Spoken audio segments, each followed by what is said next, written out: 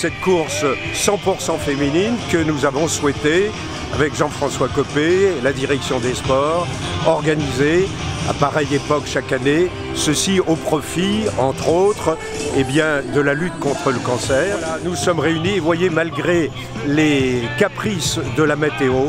euh, ce matin il pleuvait, euh, dès qu'on a lancé le départ de la marche solidaire, le soleil est arrivé, il brille encore, c'est un signe d'encouragement